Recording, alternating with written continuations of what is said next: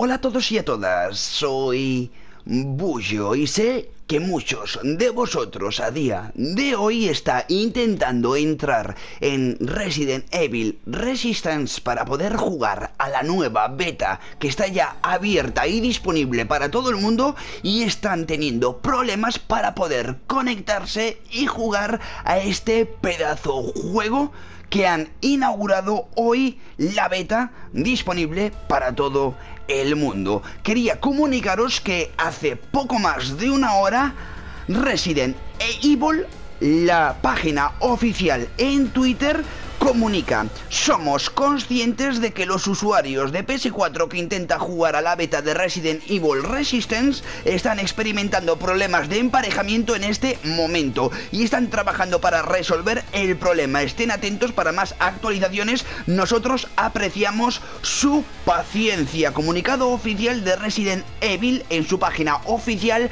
de Twitter. Aparte, pocos minutos después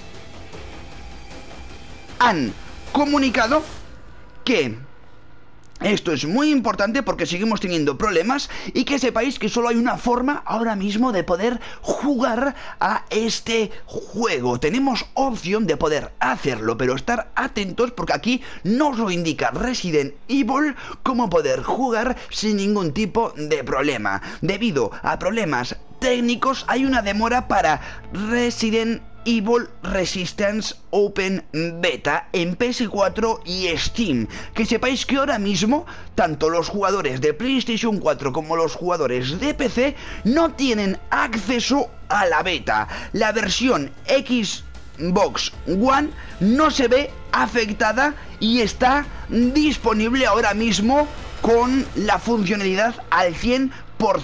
Estamos trabajando para resolver el problema lo antes posible y los mantendremos informados. Disculpas, disculpas por los inconvenientes. Comunicado oficial de Resident Evil. Hace una hora han lanzado este mensaje comunicando que en PlayStation 4 y PC no podemos aún acceder a la beta. Estaremos al tanto y esperando a que Resident Evil comunique que ya ha solucionado todo este tipo de problemas que están teniendo con la conexión y esperemos que a lo largo del día se solucione porque han tardado demasiados días en abrir la beta y para los pocos días que tenemos para disfrutar de ella que funcione con normalidad. Así que bueno, quería compartir este vídeo con todos vosotros porque sé que sois muchos los que están teniendo problemas para conectarse digamos, toda persona que está con la PlayStation o toda persona que tenga un ordenador no puede ahora mismo, en el momento que estoy